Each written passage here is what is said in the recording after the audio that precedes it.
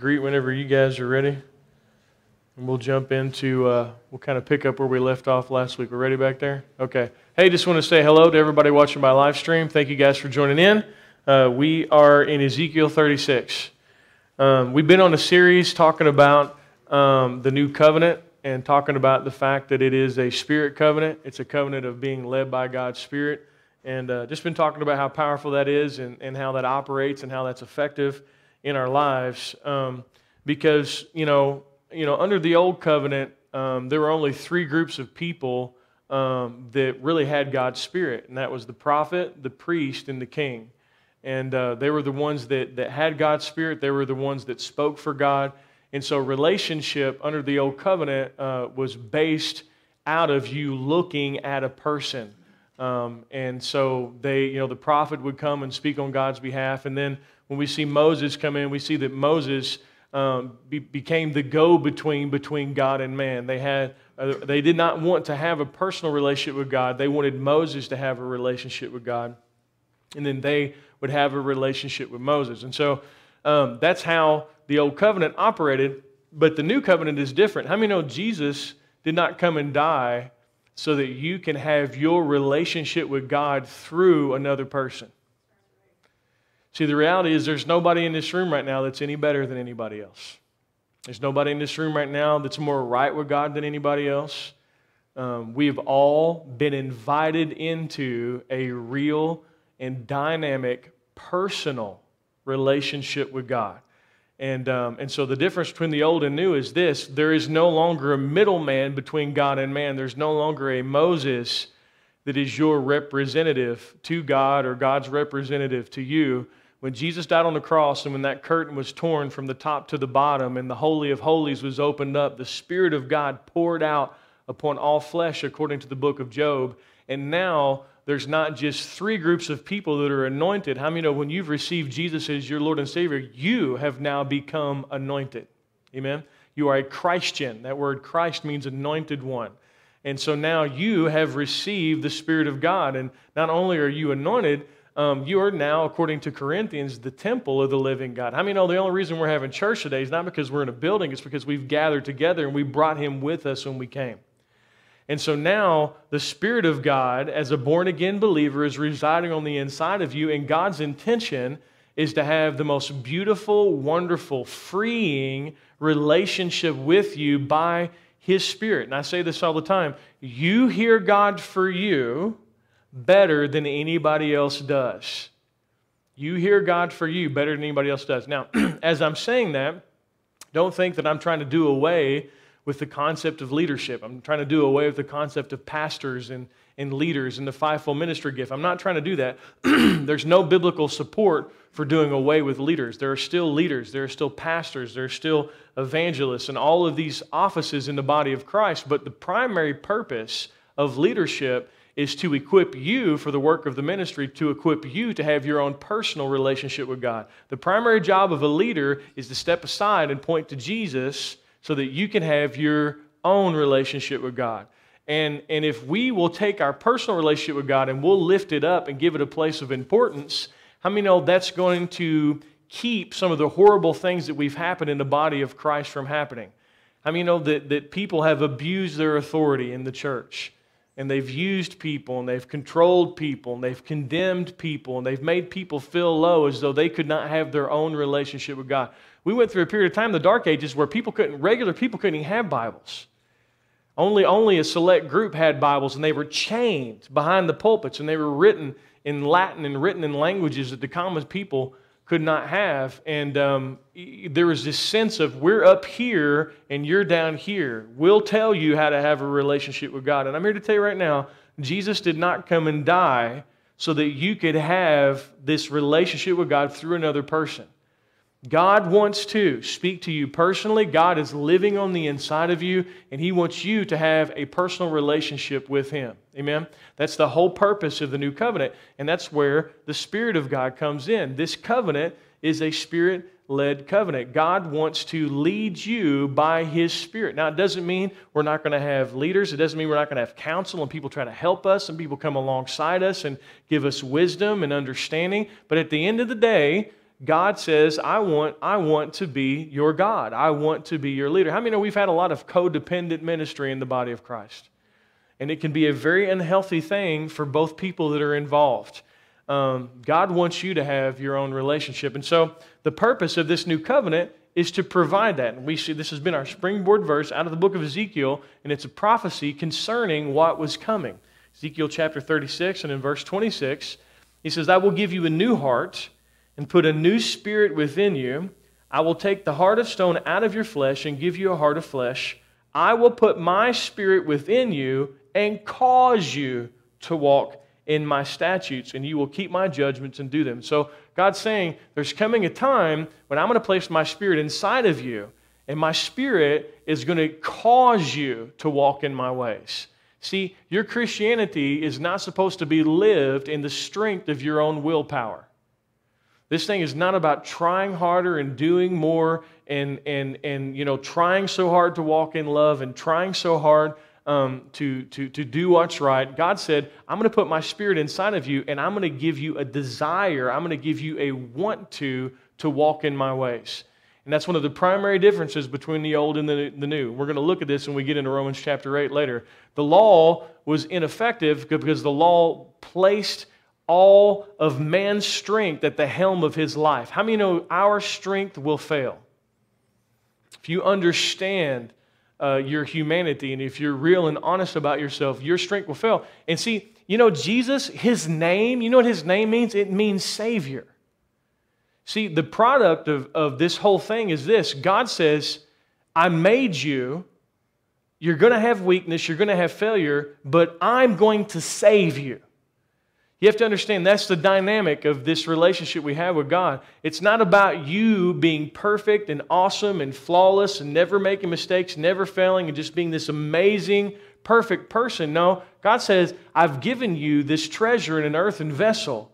You're going to fail, you're going to fall, but I am going to be your salvation. I'm going to save you. I'm going to continually rescue you and give you my strength.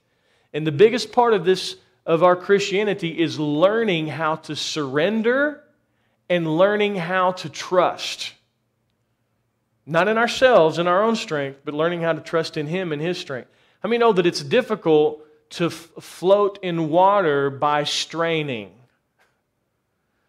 We, uh, I always share this example, but um, my, I have two little, I have a niece and a nephew, and they have very different personalities. One is very intense and very hands on and very much a go getter and a doer. And the other one is very laid back. But one kind of deals with some, the go getter and the doer deals with a little bit of fear. But then the one that's laid back is absolutely fearless, afraid of nothing.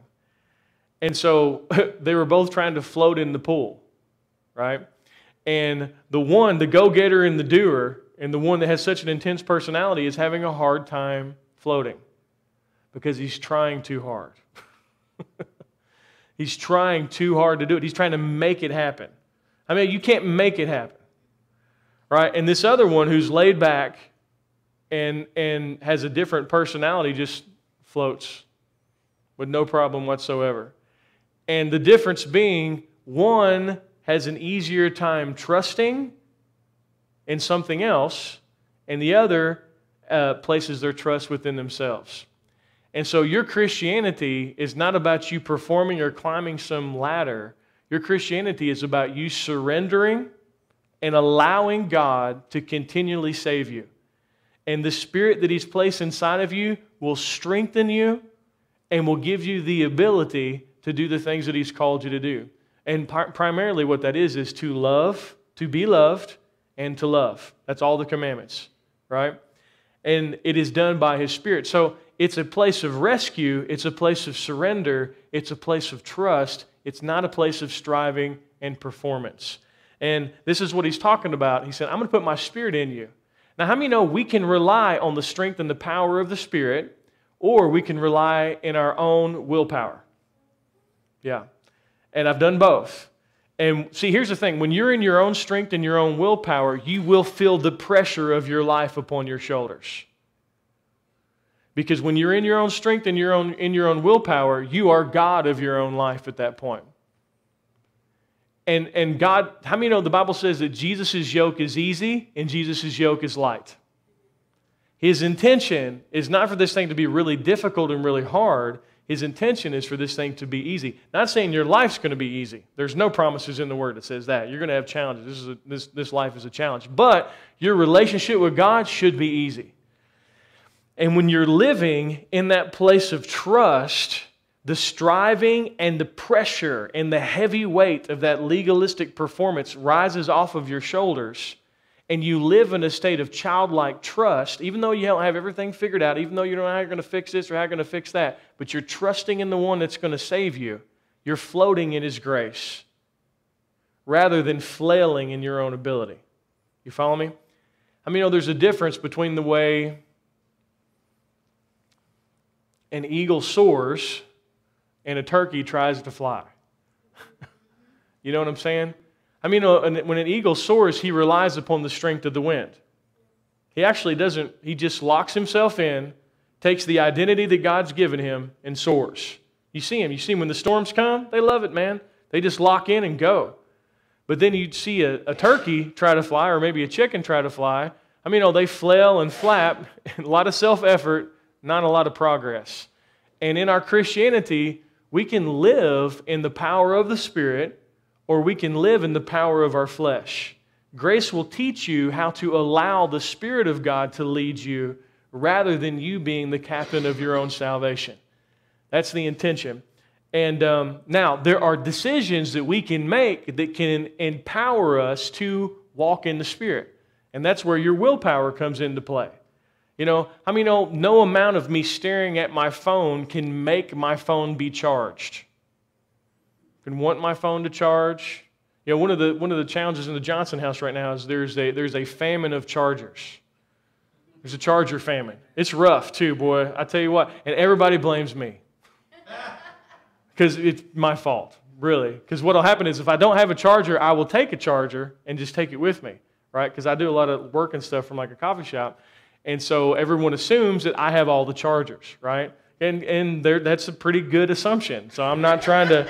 I'm not even trying to defend myself. And so, so, but when you're in the house and there's one charger and three phones, how many? What's a rough night? Because you can't charge the phone, right? And, and so we're all, everybody's on 10% and we're all wigged out, you know? See American way, right? But how many know me staring at my phone or me fretting about it or being concerned about it is not going to charge my phone? What do I got to do? I just got to plug it in. And how many know there's a way you can be plugged into God's presence to allow your batteries to get recharged. Amen?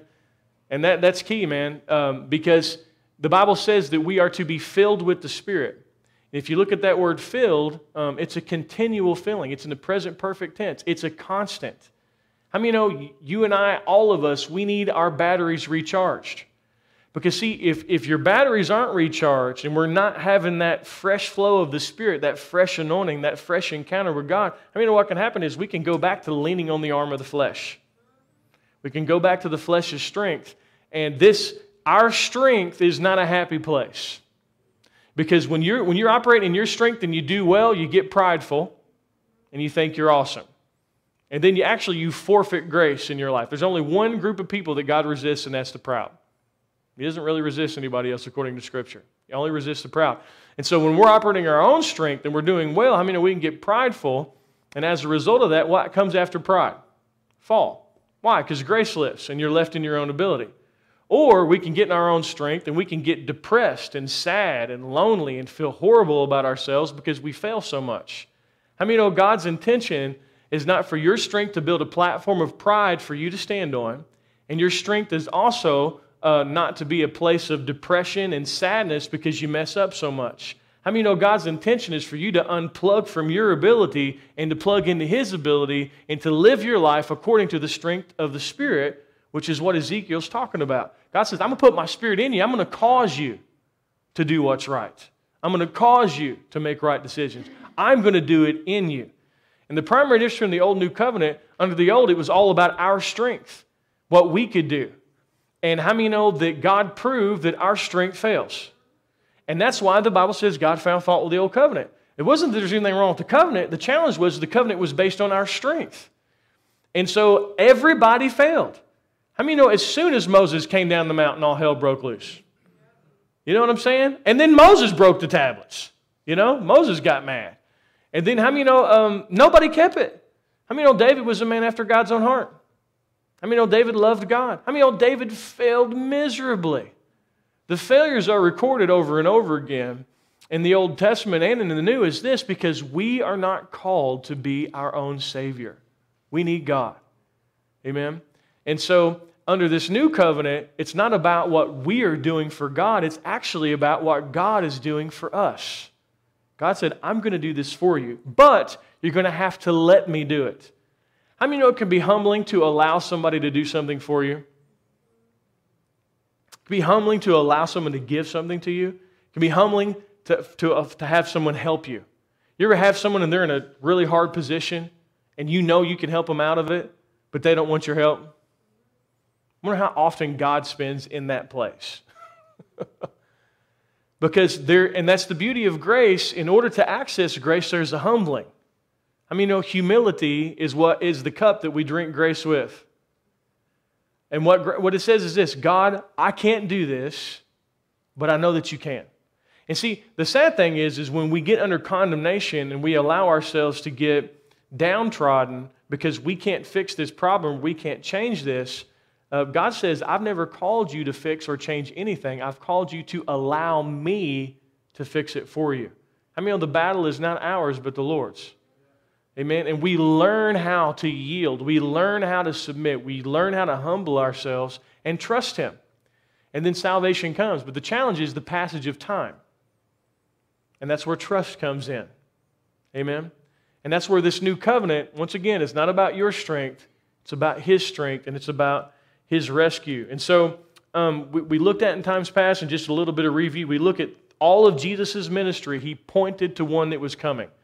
He kept saying, it, it, is, it is expedient for you that I go, because if I don't go, the Comforter is not going to come. Over and over again, we see Jesus. He's always pointing to the one that's coming. Why? Because he knew there was only so much he could do for his disciples until after he died on the cross and the Spirit of God came. Because, I mean, if you look at the disciples, how many know during the earthly walk of Jesus, the vast majority of the time, they really did not know what was going on. They thought for sure he was going to take over the Roman Empire. They thought for sure he was going to be a conquering king like David. They thought, and then, and then when he's ready to die, Jesus is ready to rebuke Jesus. Christ, Jesus, so I'm going to rebuke you. You're not going to die. And Jesus is like, brother, you have no idea what's going on. Y'all need to wait. Tarry in Jerusalem, Jerusalem, wait till the Spirit comes, and then once the Spirit comes, then I'll be able to teach you from the inside out, not just from the outside in. And so Jesus was constantly pointing to the Holy Spirit that was coming. So, my Father has a gift that He's going to give you. It's amazing, it's wonderful, it's awesome. He's coming. And so then we also found out that when the Spirit of God comes, the Spirit of God only testifies of Jesus. The Spirit of God only honors the finished work. The Spirit of God, that's, that's what He has come to do, is come to honor Jesus and to honor the fact that Jesus had a finished work on the cross. So, what does that mean? That means the Spirit of God does not partner with condemnation. The Spirit of God does not honor condemnation. What is condemnation? Condemnation is a declaration that God is angry with you, God is against you, and God is going to hold and punish you for your sins. Okay? Um, God is not going to honor a message that dishonors the cross. And it's so funny because I don't care how much we talk about this, you get to this point and you got, you got to lay it out afresh and new. How many of y'all think Jesus did a good job on the cross? Do you think he paid for your sin? Do you think he paid for all of your sin? He did, right? Because he actually died 2,000 years ago. He died before you were born. So he paid for your sin, right? He paid for the sin of your children. He paid for the sin of your children's children. Jesus Christ paid for the sin of the entire world on the cross. Outside of time, all the sin of all of mankind was placed on Jesus and punished and condemned in his body right? So all sin's been paid for. Everybody say paid for. Now, even in, in our modern day culture, they have something called double jeopardy. Even in our legal system, how many know that you cannot punish someone for the same crime twice? Right? You can't. It's according to our legal system. Well, it would be double jeopardy for Jesus to take the punishment for sin on the cross and then for you also to be punished.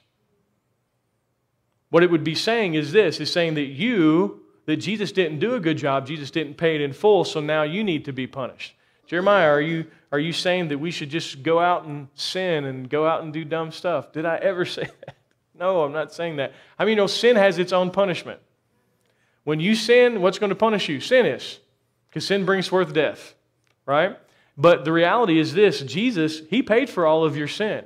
And so now, God's message to the entire world is not a message of condemnation. How many know now our message is a message of reconciliation?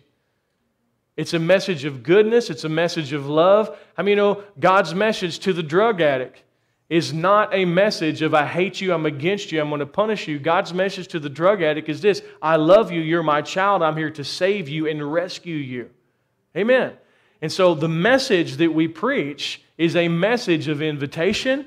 It's a message of, we, of, of God loves you, God's not mad at you, God is for you. Now, in that statement, it doesn't mean I approve of the drug addict's addiction.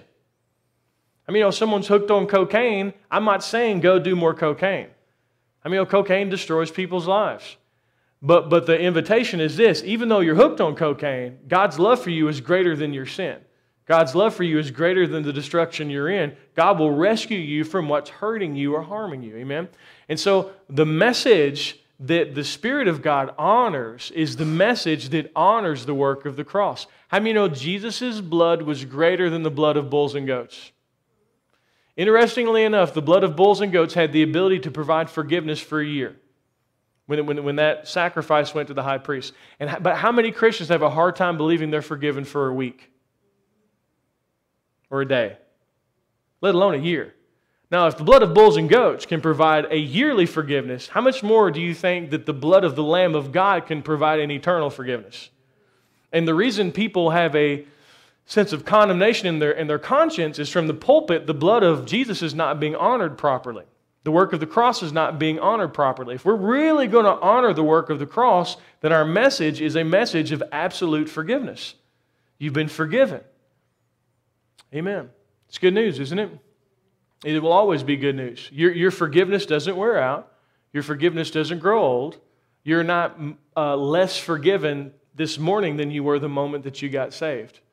Because the power of the blood of Jesus is so strong that it has the ability to secure that forgiveness and keep it for you, so that your relationship with God is not a relationship of condemnation and failure, but your relationship with God is based on the sure, solid ground of the finished work of the cross, you now have peace with God and you are standing on grace ground.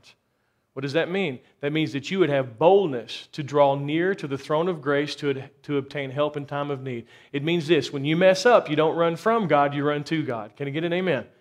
This is the mess this is what the spirit of God honors is the message of the forgiveness of sin. Even when, even when, when the very first Gentile, when the very first Gentile got saved, when, when um, uh, Peter uh, went to Cornelius' house and began to share, as soon as Peter began to speak about the forgiveness of sin, that's when the Spirit of God fell. The Spirit of God interrupted Peter's whole sermon, messed his notes up. As soon as he made the, just the flat declaration of the forgiveness of sin, the Spirit of God fell. Why? This is what he honors. When John saw Jesus, and said, Behold, the Lamb of God who takes away the sin of the world. How many know that is in that, in that moment, during that baptism, that's when the Spirit of God came down like a dove. And God already spoke to John's heart. Who, upon whom you see the Spirit descending and remaining, that is the Christ. And God said, This is my beloved Son, whom I am well pleased. How many know Jesus is on a, mess, on a mission of salvation, not a mission of condemnation? Now, in the very same breath, how many know people have the ability to reject forgiveness? People have the ability to reject the Son of God. And if they want to, then they're going to have to pay for their own sins. And if you have to pay for your own sins, that's a whole different ballgame than Jesus paying for your sins. Then they'll have to stand up to the law and they'll have to weigh themselves in the balances. Um, so I'm not saying that there is not, uh, there, our part is to simply believe. But it's all been paid for, but you're only going to enjoy what you believe. And so then we also looked at the, the work of the Holy Spirit, how the Holy Spirit convicts us of righteousness now under the new covenant. He has three, three things that he does. He convicts the world of the sin of unbelief. I mean, oh, that's what causes people not to be saved. Not, not, their, not all of their sin. How many know there's not one sinner that's greater than another sinner? A lot of times we want to think that, and the reason we want to think that is we don't understand the law. The law is a composite whole, it's not graved on a curve. If you broke one, you broke them all. And the law came to bring in e- e- equality in the sense of guilt. The entire world came, be, became guilty before God because nobody could keep the law. But a lot of times, what people want to do is they want to say, well, because this person is, you know, a drug addict, they're a huge sinner, and this person, they're just a glutton, so, you know, they're not as bad of a sinner. I mean, you know that without Jesus, nobody's getting to heaven. So, so, so the reality is the Spirit of God comes to convict the world of the sin of unbelief. Now, once you receive Jesus as Lord and Savior, from that point on, the Spirit of God is going to begin to convict you of righteousness. He's going to convict you that you're the righteousness of God. He's going to convince you that you're the righteousness of God. This is the dynamic of the new covenant. Why does he do that, Jeremiah? Because it's this if you believe right, you will act right. If you believe that you're a good person, you're going to act like a good person. If you believe that you're loved, you're going to act like you're loved. If you believe right, then your behavior is going to follow. So the Spirit of God is going to bear witness with your spirit that you are a child of God, that you're the righteousness of God, and that you're a good person because God has made you good. Now, we get into error and we get him to mess up stuff when we start talking about, well, I'm so bad and I'm so this and I'm so that and I do this and I do that. Sweetheart, it's not about you. you know what I'm saying? I mean, be dismissed from weighing yourself in the balance. If we all got up here and weighed, weighed ourselves in the balance this morning, all of us would be found wanting. But see, here's the thing we didn't come here to talk about you, and we didn't come here to talk about me. We came here to talk about Jesus. Jesus has been weighed in the balances. Jesus has taken your punishment and my punishment, and now Jesus has made you and I forever the righteousness of God in Him. He has given it to you as a gift. Isn't that the best news in the world, right? So don't focus on you, your shortcomings, and your failures. I know it's attractive. I know we think we can somehow fix it by doing that, but we can't. It's like trying to stay in the center of the road by staring at the ditch. If you stare at the ditch, you're going to end up at the ditch. If you stare at your failure and your sin, you're going to end. No, keep your eyes on Jesus. You acknowledge every good thing which is in you in Christ Jesus. That's how your faith becomes effectual and effective. How many of this is about Him, not about us? Amen?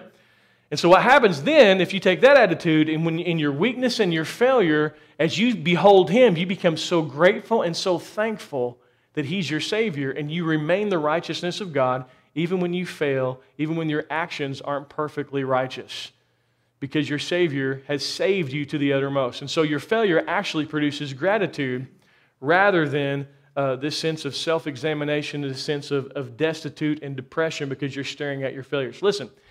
If you're disappointed in yourself, you're not called to focus on yourself. How I many of you we can periodically disappoint ourselves? But see, if, you, if, you're, if you're spending your days living disappointed and focused on yourself, you're putting your trust in the wrong things. Put your trust in Jesus. Don't put your trust in yourself. Amen. Because here's the reality you will let you down. Amen. And, and your membership in the family of God is not going to be revoked because you've done something dumb. Can I get an amen? I mean, no one is able to, to, to pull you out of your Father's hands because that's how powerful His salvation is. Amen? And this does not create a lifestyle of licentiousness. This does not create a lifestyle of sin, this actually creates a lifestyle of gratitude and love and thankfulness that, man, I'm saved. I'm in the family. My daddy, he loves me. He's never going to leave me. He sees the best in me. Can I get an amen? I'll take it a step further on this good news note. Not only are your sins and lawless deeds forgiven, which is great news, right? Doesn't it feel good to be forgiven today? You're forgiven. Amen. It's wonderful. But not only that, your sins and lawless deeds, he remembers no more. According to Hebrews chapter 8, verse 12. What does that mean? That means when God looks at you, he doesn't see your failure and your sin. When God looks at you, he sees, you, he sees a child of God. He sees you in his son. Isn't that amazing? So now God's not going to deal with you according to your failure. God's going to deal with you according to his son's righteousness that's been given to you as a gift. Well, Jeremiah, are you saying that, that God's never going to correct us? No, I'm not saying that at all. A loving father corrects his kids. God's going to correct you. If you're going down the wrong path, God's going to lead you down the right path. But He's not going to, he's not going to correct you in condemnation. He's going to correct you in justification and righteousness. What are you talking about, Jeremiah? Let me show you the difference. You're going down the wrong path, and then here comes correction out of condemnation. Look at you. You're so bad. You're so dumb. You're so lazy. You're so. I mean, oh, that is an attack against character. That's not godly correction. That's actually demonic. Because what's happening is the blood of Jesus that purged this child is actually on trial and being judged. These accusations, you know, when, when Paul persecuted the church, he told Jesus, he said, Why, why are you persecuting me? How many know Jesus now identifies with you just like you identify with him? How many know you're in Christ? Can I get an amen? Is there anything wicked in Christ? Is there anything bad in Christ? Is there anything dirty in Christ? Where are you? means that you're good. Can I get an amen? So when correction comes, it's not going to be an attack against your character. Because if I attack your character, I'm only going to empower you to fail more. If I attack you, say you're no good and you're bad and you're this and you're awful and you're lazy and you're not spiritual and you're, as I'm doing that, I'm actually downloading failure into this individual. I'm empowering them to live out what they believe about themselves. God does not correct like that. How does God correct? God comes and says, Know ye not that you're the temple of the living God? Don't you know that you're the righteousness of God? All this that you're wrapped in, that's not who you are. You're better than this. Here, let me open your eyes to see my son so that you can be changed into the same image from glory to glory. Look at my son. Don't look at your failure. Don't identify with your past. Don't identify with your flesh. Identify with my son Arise, you are good because I have made you good. You're the righteousness of God. Your sins and lawless deeds I remember no more. I love you. I paid for your sins. I many know it's more difficult to rebel against love than it is to rebel against judgment? It's easy to rebel against judgment. Why? You just run and hide. You either run and hide or you get fake and wear a mask to try to please those that are judging you, to convince them that you're okay. But you know what love does? Love disarms you. When you encounter love in your place of failure, it's a bit of an overwhelming experience. Because your heart's filled with gratitude. You're like, You still love me after all I've done and all I've said? You still for me? And God's like, Yes, I am. And that's where the light of the gospel shines on the rebellion, burns it away, and we find out there's still a child of God under all of this dirt. There's still a valuable human being under all of this dirt.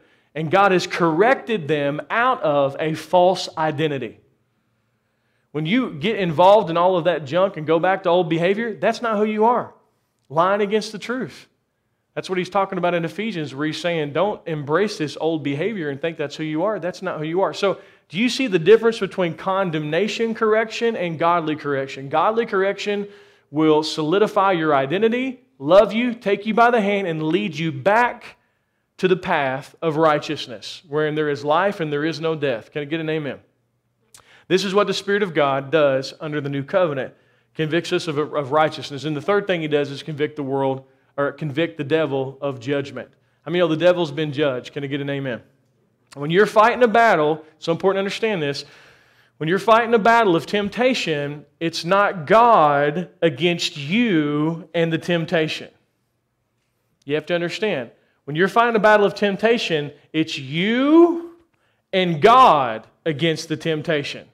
I mean, the temptation has been judged, the devil has been judged. So when you're fighting a battle of temptation, you're dealing with something, God's still on your team and on your side, and you have to understand that that temptation is trying to arise. It's not born of your nature, it's not born of God, it's born of the enemy. So it's you and God together condemning what's trying to rise against you.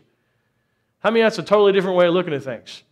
If I'm involved in temptation, I've made a mistake, and now I think God is against me. How many know where am I going to go? What am I going to do?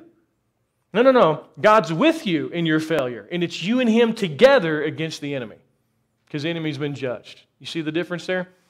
And because um, God's faithfulness towards you is never going to change. Now, let's, let's turn to Romans chapter 8. And uh, we just did you know, a little bit of review here. And now I want to um, I want to just, we're going to teach through this.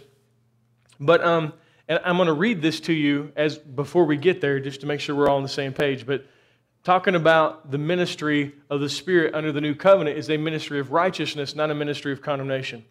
Uh, so you guys turn to Romans chapter 8. I'm going to read this to you real quick out of 2 Corinthians chapter 3. It says, Who also made us sufficient as ministers of the new covenant, not of the letter, but of the Spirit. For the letter kills, but the Spirit gives life. For if the ministry of death, talking about the law of Moses, written and engraved on stones, was glorious, so that the children of Israel could not steadily look at the face of Moses because of the glory of his countenance, which glory was passing away, how will the ministry of the Spirit not be more glorious? For if the ministry of condemnation had glory, the ministry of righteousness exceeds much more in glory. The ministry of the Spirit, the ministry of righteousness is the same ministry, okay? The law of Moses came and condemned, gave the knowledge of sin, showed us that we needed a Savior, and now that we've received Jesus as Savior, now the ministry of righteousness is now affecting our lives. God's trying to convince you that the blood was enough. God's trying to convince you that the cross was enough. God needs your conscience to not be overladen with guilt and despair. God needs your conscience cleansed so that you'll recognize that you're a child of God, that you've been made right by the blood of Jesus, and God is with you and God is for you. It is out of that mindset it's going to be easier for you to be led by the Spirit. When you're under condemnation, a lot of times, it's difficult to see how God truly is. I mean, know if you think God's.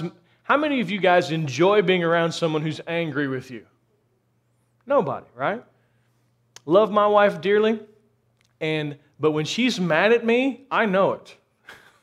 I can see it from afar. and if she's mad at me, I'm not trying to spend time with her. I'm trying to find something else to do. Hallelujah. I need to run an errand. I need to go to the store, right? Because if she's mad at me, I mean, if she's angry with me, fellowship's not really, not saying there's not time to sit down and talk and work through things, because yes, there absolutely is. I'm just talking about sheer desire. No one enjoys being around someone who's mad at them. So now, when you, so what's, what's the devil going to try to do? He's going to try to 24 hours a day, seven days a week, paint the picture to you that God's mad at you. If you think God's mad at you, do you want to be with him? No, you don't. You don't want to spend time with him at all. In fact, you want to, you want to actually try to get away from him or do something else if you think he's mad. And that's why a lot of people spend their time engrossed in entertainment because they feel like they've disappointed God and they feel like God is mad at them. And so they don't want to draw near to God because they feel like he's disappointed, he doesn't love them. Folks, that's a lie. It's just not true. God's not mad at you, okay? God loves you. And so when that condemnation comes, it puts a veil over the face of your father, and the way you see God gets distorted. How many of y'all have ever spent time thinking God was mad at you? Or maybe it's not even mad, say disappointed. I mean, you know, in that place, it's not a place of relationship. It becomes a place of striving and performance, where you're trying to get God to like you, or it becomes a place of, I just don't want to be around God. I mean, know, neither one of those places produce relationship both of those places produce a, a false sense of who God is. And the reality is this we see the face of the Father through the face of the Son.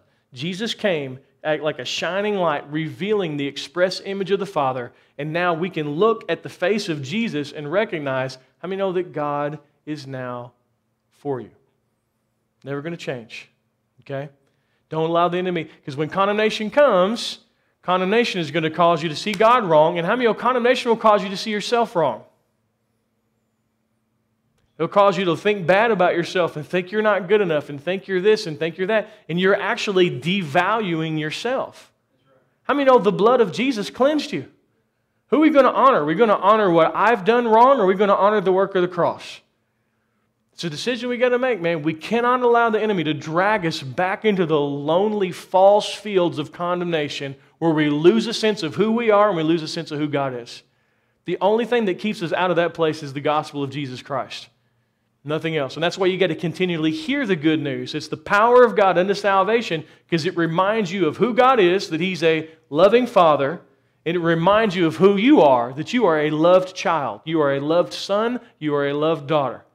Now, once you die and go to heaven, you won't deal with that anymore. You'll, you'll find out that the countenance of your Father is good towards you. But while you're down here on earth, there is a fight of faith to believe that the cross was enough. It's a primary fight that we face. And so, this ministry of condemnation, we're no longer under that. We are now under the ministry of righteousness, which is the ministry of the Spirit. So the Spirit of God is on the wavelength of righteousness, that you've been declared the righteousness of God. You ever be traveling and your, your radio kind of start to get off the station and you got to try to find another station? When we get off the wavelength of righteousness, we can start getting spiritual static and we can't hear properly. Because see, there's the enemy's always trying to act like he's God. He's always trying to act. He's always. He's, if you look at Isaiah, the devil's primary desire and plan is, "I will be like the Most High. I will exalt my throne into the stars. I will. I will. I will." The enemy's always. Try, he. How many know he wants to be worshipped? If you look at him, he tried to get Jesus to worship him. Devil's always trying to be like God. How many know he's not? But he's always trying to act like he is.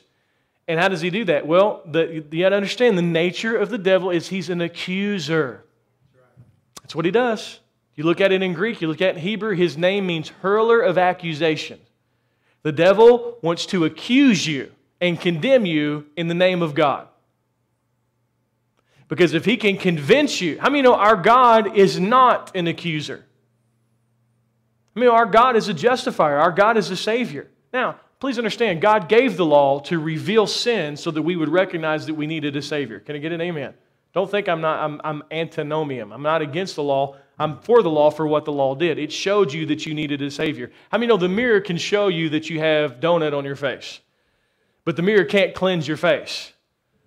If you're trying to clean your face with a mirror, you're going to be, it's going to be a rough day for you. the law cannot cleanse you, but it can show you have a problem. The only one that can cleanse you is Jesus Christ. And so, what the enemy tries to do is bring in condemnation to get your frequency off. And so now you start thinking that you're hearing God, and really it's not God, it's the enemy. What are you talking about, Jeremiah? Well, this is how condemnation works. When con- we're going to get to Romans chapter 8, beginning with there's therefore now no condemnation. Romans chapter 8 lays out the spirit led life, but it begins with this reality no condemnation. Without the reality of no condemnation, we have no spirit led life. See, when condemnation comes in, let's say condemnation comes in and you, have messed up and you feel like God's against you or disappointed in you or mad at you or ready to punish you for your sin, next thing you know, you get a flat tire. What's the enemy's voice? See, the reason you got that flat tire is because God's mad at you. Reason that unexpected bill came in the mail? God's mad at you. The reason this, the reason that. And so the enemy's always trying to build a case against you. And really, it's building a case against the cross, saying the cross was not enough. And your fight of faith, your fight of faith is not believing for healing or believing for family salvation or believing for um, any of these things. Your primary fight of faith is believing in Jesus and believing that what he did was enough. Because if you can believe in Jesus and believe that he made you the righteousness of God through the work of the cross, he that knew no sin became sin so that we would become the righteousness of God in him. As you believe that you are now a child of God and you've been made the righteousness of God, all these things will follow you rather than you chasing these things. And so the enemy is always trying to build a case against your righteousness. Saying, see, no, you're not right with God. God's holding this back from you because of this. Or God's not going to. How many of the Bible says that all the promises in him are yes and amen? Everything's a yes. Talking about all the promises are a yes to you because Jesus is the one who's made you righteous by, the, by his blood. Can I get an amen? There are no disqualifiers for us any longer in terms of God's promises because Jesus did an excellent job on the cross. And so, um, this ministry of the Spirit is a ministry of righteousness, not a ministry of condemnation. So now, let's, now let's take a look at Romans and we'll, we'll work our way through here. Um, so it begins, Romans chapter 8, it's talking about the spirit led life. This is a beautiful chapter showing us what it looks like to be a spirit led Christian. Romans chapter 8 and verse 1, it says, There is therefore now no condemnation to those who are in Christ Jesus. Now, how many know that is the best news in the world? What does that mean? That means that, that, that it, notice it says to those who are in Christ Jesus. Okay? This chapter are for those that have received Jesus as Lord and Savior. Those that have not received Jesus as Lord and Savior, they still abide under condemnation. There's still there. It's like it's the, it's like in, in the days of Noah when the ark was prepared. How many know only eight people got into the ark? How many know Noah? The Bible says Noah was a preacher of righteousness. He preached for many days. How many know everybody was invited, but only eight people actually got in? Well, judgment was released, but inside that ark, how many know there was safety? Well, today Jesus is the ark. And the condemnation's already been unleashed when Adam ate the fruit. Condemnation's in the earth, it's everywhere. But Jesus is that place of protection.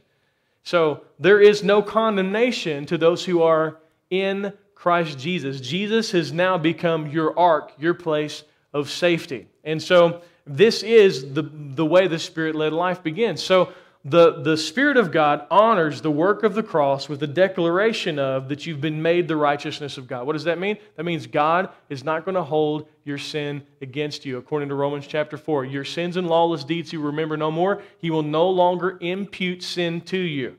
How many know you can't pay for your sin and Jesus pay for your sin? Can't do both. I'm sorry. You can't. Either He did it all or you do it all. There's no in betweens. Forgiveness is not um, made in payments. It's not a partial forgiveness. You are either totally forgiven or you're totally not forgiven. Amen. And so, this, so what this means is this is the reality that you're now living in, under. There is therefore now no condemnation to those which are in Christ Jesus. And it goes on to say, if you look at the rest of this verse, who do not walk according to the flesh, but according to the Spirit. Ah, wait, Jeremiah, there's, there's, there's a contested moment here. This looks like this is conditional. Now, I need you to do something for me. I need you to go home. I need you to study this verse because this last part was not, is not in the original transcript. It's added in. They actually take it from a verse down at the bottom. They take it from the verse where it says, The righteous requirement of the law might be fulfilled in us who do not walk according to the flesh, but according to the Spirit. They take that from there and they plug it into verse 1. Study it out and look at it that is not in the original text. Why are you saying that, Jeremiah?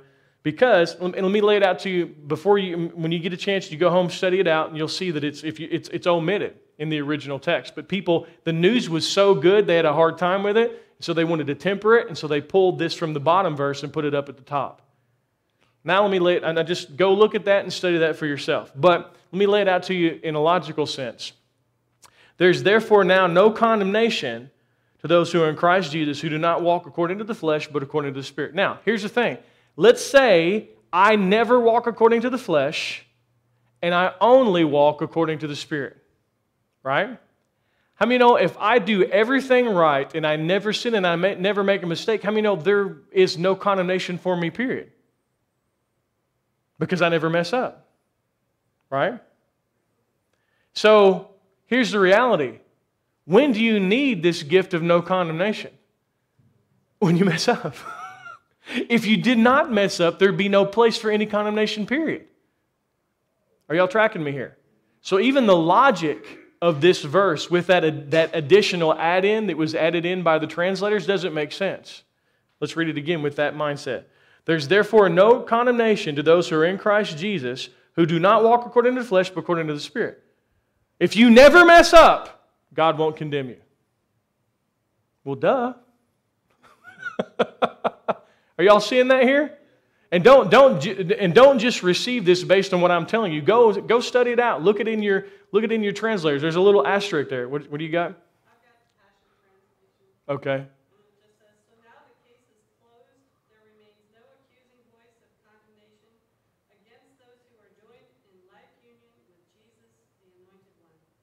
Amen.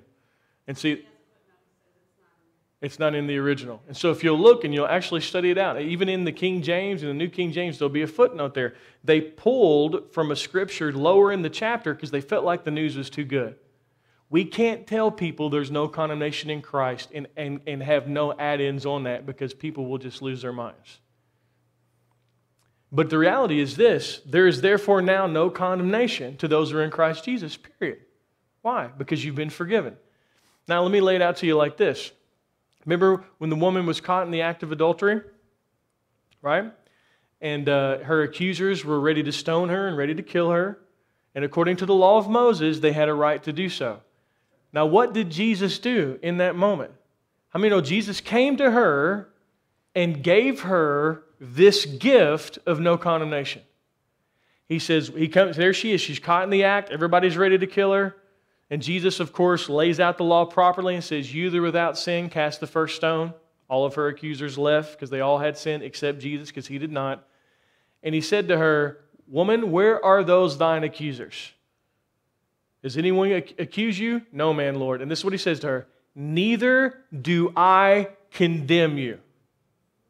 Go your way and sin no more. How many know Jesus gave her the gift of no condemnation in the midst of her disobedience, in the midst of her failure, in the midst of her sin? He says, Neither do I condemn you. Now, do you think her, his declaration of no condemnation, do you think it empowered her to go sin more? Or do you think it made her so grateful and so thankful that her life was spared because she just about died a horrible death of stoning? And he said, Look, nobody's going to condemn you when I'm around. How many know Jesus did have the right to condemn her because he was without sin, but he didn't want to because he didn't come to condemn, he came to save. And so he said to her, he gave her, Neither do I condemn you. This is the gift that God has given His church. And His statement to all of His children is this Neither do I condemn you. There is therefore now no condemnation to those which are in Christ Jesus. The Spirit of life in Christ has made me free from the law of sin and death. And so, this is the declaration toward Jesus, what the gospel declares, what the cross accomplished neither do I condemn you. And you know what? That gift of no condemnation is what empowers you to go and sin no more. Because in the place of judgment, you found mercy.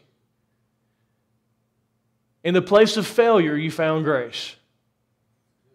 This is where the Spirit of God lives and abides and leads and guides, is in the place of no condemnation. So now, anytime you hear someone talking about Scripture, you better study it out. So study out what I just shared with you about there being an omission according to that. Don't just take my word for it. Go study it out for yourself. Because the bottom line is Scripture. If it's in Scripture, we want to embrace it. If it's not in Scripture, we do not. That's the way I live my life. But the reality is this this presentation of non, no condemnation, there's, no, there's nothing upon it.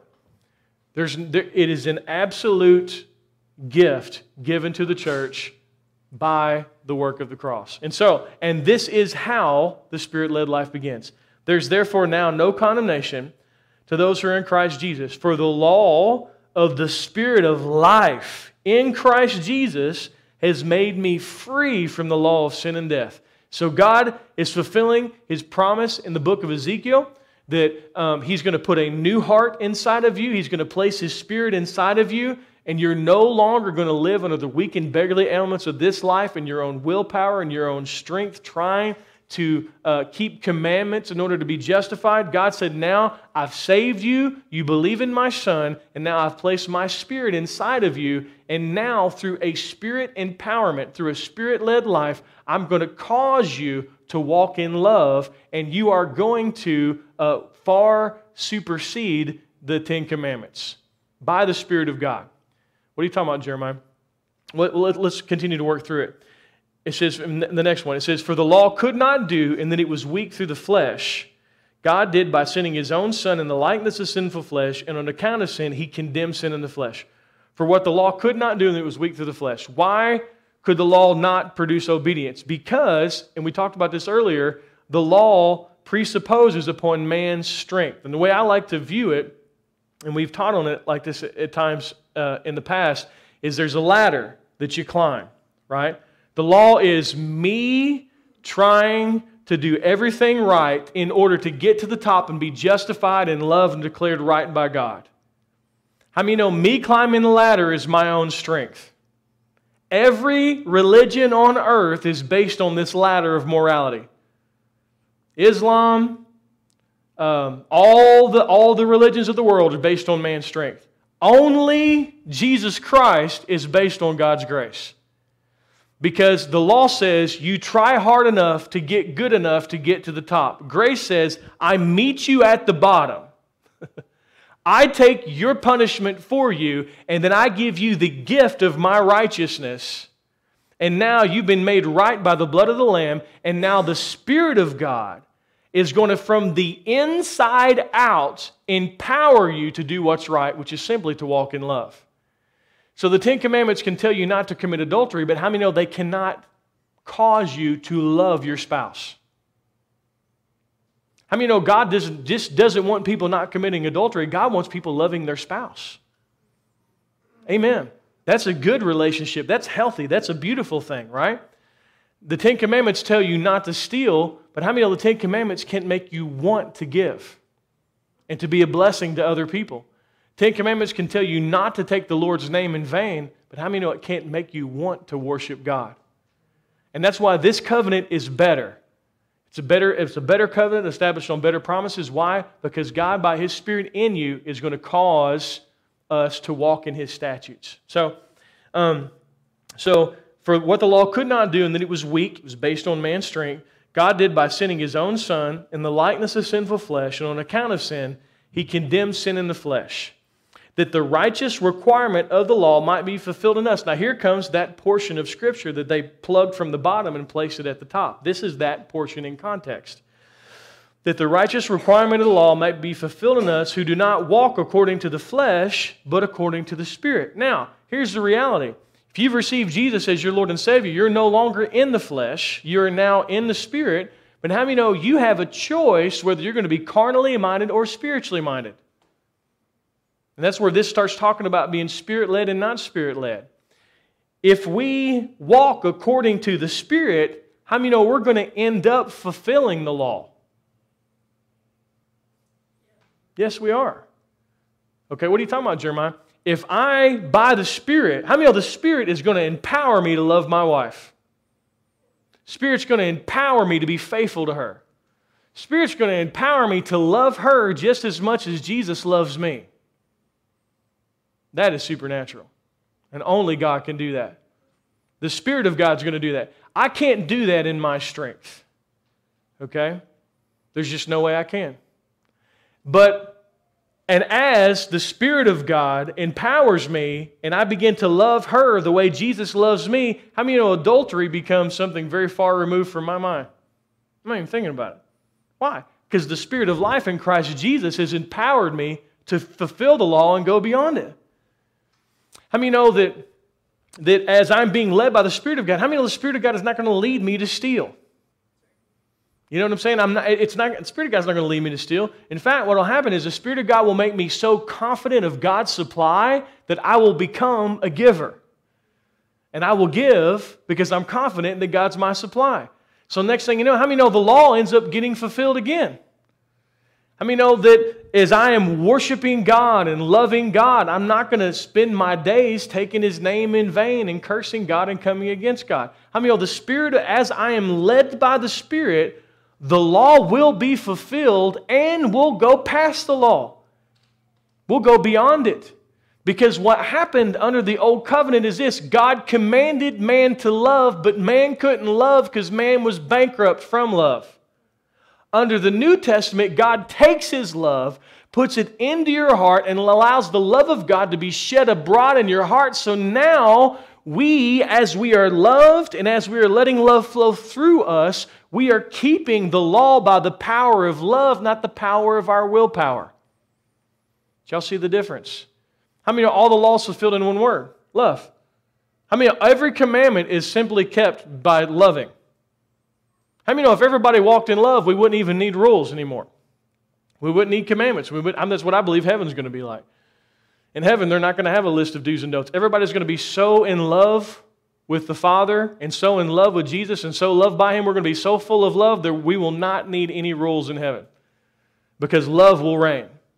And I believe that there can be pockets of that on earth. I believe there can be days of heaven on earth. I believe your marriage can be like that. I believe your house can be like that. I believe that a church can try to be like that, where there's this place where the love of God is so present that we are by the Spirit of God loving and then the, the, the, the, the laws is, is, an, is an afterthought.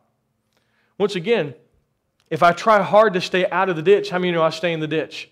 If I got up behind the pulpit today and just preached against sin, all I talked about was sin, and all I did was show you sin and tell you how you were a sinner and how you were no good. How many know? Only thing I'm doing is I'm empowering you to focus on sin.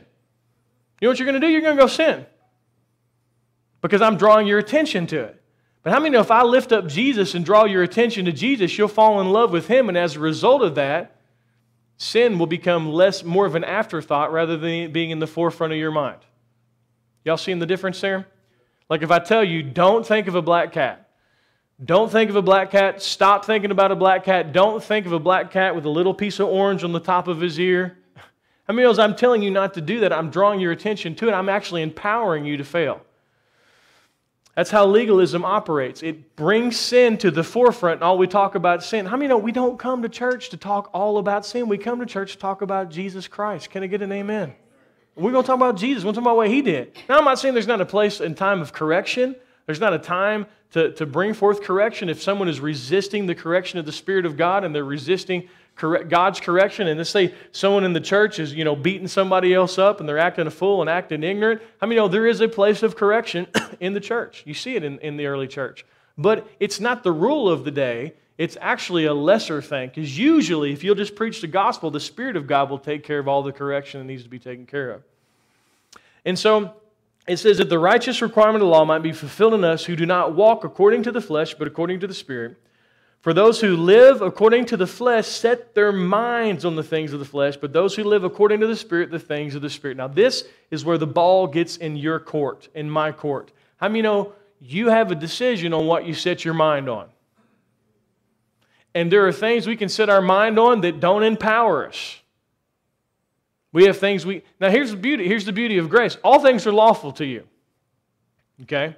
God's not going to take your identity away based on what type of movie you watch. Can you get an amen?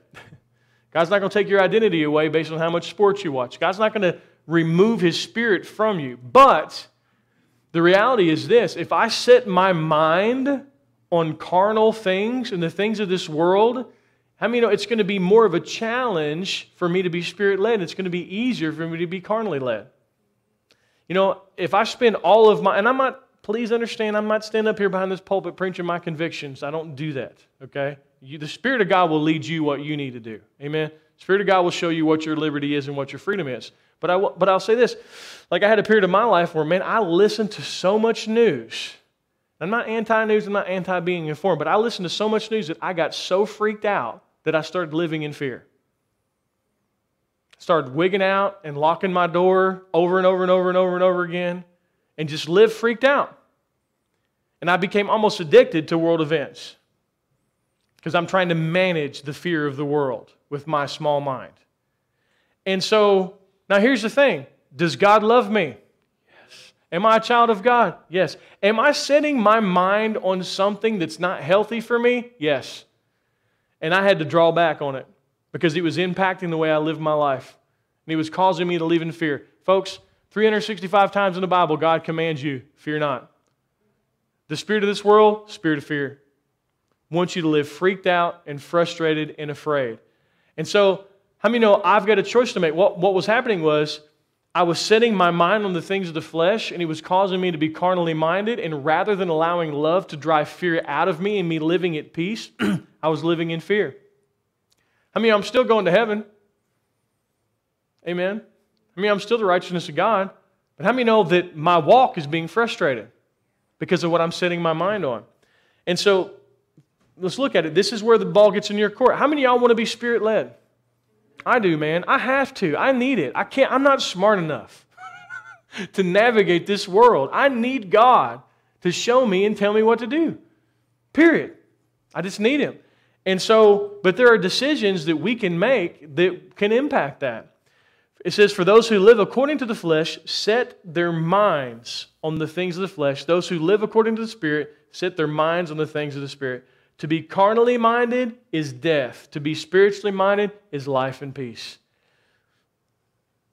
How many know we have a choice on what we feed on? Like you guys made a decision to come to church today. How many know today that you're setting your mind on the things of the Spirit? You're setting your mind on heavenly things. That's good for you, that's healthy for you. But how many know this is just one moment of time in a big, big week? and you have a decision to make, you know, how many know there are things that you can do through the week that's going to help you to be more spirit led? And, and we're not going to talk about this today. We're going to talk about what it looks like to be continually filled with the Spirit. There are things that you and I can do to give place to the, to the Spirit of God in our lives so that we can be filled with the Spirit, so we can be sensitive to the Spirit, so that we can be led by the Spirit. And there are things that we can do to cause us to be dull. You know? And this is where your liberty is a beautiful thing, but don't allow the enemy to use your liberty against you and turn you into a carnally minded Christian who's not spirit led. Please understand how many know there's no condemnation in that statement? How many know they're the righteousness of God? Amen. But there is a decision unto life and there's a decision not unto. And that's what this is talking about. It says, Because the carnal mind is enmity against God, for it is not subject to the law of God, nor indeed can be. So then, so he's talking about being carnally minded or spiritually. When we're closing here, he says, So then, the, those who are in the flesh cannot please God. Now, how many know that's not talking about you? You're not in the flesh. You've received Jesus as your Lord and Savior. But you are not in the flesh, but in the Spirit, if indeed the Spirit of God dwells in you. Y'all see that? But how many know you're not in the flesh, you're in the Spirit? But how many know we, we can walk according to the flesh? And we can walk according to the Spirit. That's your choice. Amen. And that involves the decision making processes that we make. But you are not in the flesh. You are now in the Spirit because you've been born again. Now, if anyone does not have the Spirit of Christ, he is not his. And if Christ is in you, the body is dead because of sin, but the Spirit is life because of righteousness. For if the Spirit of him who raised Jesus from the dead dwells in you, he who raised Christ from the dead will also give life to your mortal bodies through his Spirit who dwells in you. Therefore, brethren, we are debtors, not to the flesh, to live according to the flesh. For if you live according to the flesh, you will die. Now, how many know if we live our lives carnally minded and consistently make carnally decisions, it's going to bring death? What is carnality? It's, it's, it's, it's uh, anger and wrath and lust, lying, cheating, um, just all that stuff that's involved in the person that you used to be. How many know if you give place to that and take on that false identity and become to be allow your flesh to lead you, how many know it will produce death? It'll produce death to your relationships, it'll produce death to your finances. So, you know, you're born again, you're the righteousness of God, but how many know there's still that carnal mind that tries to arise? That old person still tries to rise. Flesh lusts against the spirit, spirit lusts against the flesh. That's not who you are, but that's who you used to be. How many of your mind still remembers all the stuff you used to do? And when we get over into the carnal mind, we start reacting out of a carnal, fleshly place, and that's not life and health for us. And the enemy uh, wants us to go back to that carnal mind, wants us to go back to that flesh so that, you know, it's going to make our lives miserable, make the lives of those around us miserable, and also have impact in our witness. I mean, you know, we're supposed to be different. Amen. We're not supposed to look like the world. Now, it has nothing at all to do with what, the way you look outwardly. It's not your clothes or your hair and none of that stuff. How many know the character of our God is love and peace and joy and kindness and gentleness? How many know these are the things that witness to the Christ that's in you? Amen. And so when that carnal mind tries to arise, it can really mess up things in your life. I mean, no, we don't want that. We want to, we want to lead a spirit led life. Now, please understand this. When you do get over into the carnal, when you do make mistakes, listen to me. How many know there's therefore now no condemnation? See, you're not going to get out of carnality by being angry with yourself. Bible says the wrath of man does not work the righteousness of God. So when you mess up, how many know it's time to embrace Jesus? Can I get an amen? It's time to wrap your arms around Him, be thankful, receive that gift of righteousness, the reality of it afresh and anew. Get, us, get your feet on the reality of who you are. So don't allow the enemy to bring in condemnation as the Scripture brings in correction into our lives. And that's, and that's what it's talking about here. It says, Therefore, brethren, we are debtors not to the flesh to live according to the flesh, but if you live according to the flesh, you will die. But if you by the Spirit put to death the deeds of the body, you will live. For as many as are led by the Spirit of God, these are the sons of God. This is what we want right here. The end of this chapter led by the Spirit. Now, so, and we're closing right here, the Spirit of God will empower you and me to put to death the deeds of the body. What does that mean? That means that when temptation arises, when anger arises, uh, when, when all of the fleshly stuff arises, the Spirit of God will empower you to put to death that bad deed so that it's not outwardly displayed in your life, but it's inwardly taken care of by the Spirit of God. And this comes right down to what we're going to look at next week being continually filled with the Spirit. You ever had a time where you have been just drenched in the presence of God? Okay, now, when you've had a time when you're drenched in the presence of God, how many know that, that when you're experiencing that and you're experiencing that, that presence, how many know when the enemy tries to come and bring temptation, it don't even mess with you? How many know when the anger tries to come, it don't even mess with you? When sin comes knocking, it don't even mess with you. Why? Because you are so full with the Spirit, you have no desire to do the things of the flesh. Y'all tracking me here? And this is where the Spirit becomes an empowerment to set you free from the things of the flesh. The Spirit of God will put to death the deeds of the flesh. And this is your everyday life, everyday decision making processes. Because, how I many know we want a spirit led life? We want a spirit empowered life. And we're going to look at we're going to look at it what it what it means to be filled afresh and anew. We're going to look at it in Ephesians, and, and I'll just touch on a couple things real quick. I mean, you know, worship is one of the biggest ways to get filled with the Spirit afresh and anew. You get into a place of worship. You allow the Spirit of God to come in. You, you get your priorities right. You lift up God and let your problems be made low and made small. There's a place of prayer. There's, there's different things that we can do, but it's us getting plugged in, charging our batteries so that we're living life according to the strength of God's Spirit, not the weak strength of our willpower. Because how many know if you're in the carnal mind, it's real hard not to do dumb stuff? Your natural tendency is to do dumb stuff. And so, what we don't want to do is we don't want us in the carnal mind trying to live according to our willpower. How many are going to be really frustrated? The enemy will say, Look, you're not even saved. Look, God doesn't even love you. God's not even for you. Enemy will heap condemnation on you um, in that place of the carnal mind. And so, as God begins to lead us and guide us and bring forth the Spirit led life in our lives, remember what the banner is over the whole thing no condemnation. Can I get an amen? So, no condemnation when you mess up, no condemnation. Now, how many know you need to apologize you need to apologize to? Can I get an amen? need to say you're sorry, need to restore, and all of that. But the bottom line is, as far as heaven's concerned, you've been forgiven. And God's going to teach us how to have a spirit led life because you're not really mature. That word, um, they that are led by the Spirit of God are the sons of God, is the word huios, and it literally means a mature child. See, and that's one of the challenging things about legalism. Legalism doesn't produce maturity. Under legalism, you're being babysat and you don't have your own relationship with God. And, and what God wants is for you to have your own relationship so that you're accountable to the Spirit of God within you, not to a pastor, not to an organization, not to condemnation or the fear of punishment. Your accountability comes to the Spirit of God that's residing on the inside of you. That's where real maturity begins to happen. And that's where the Spirit led life happens. So, amen. Awesome. So, we're done.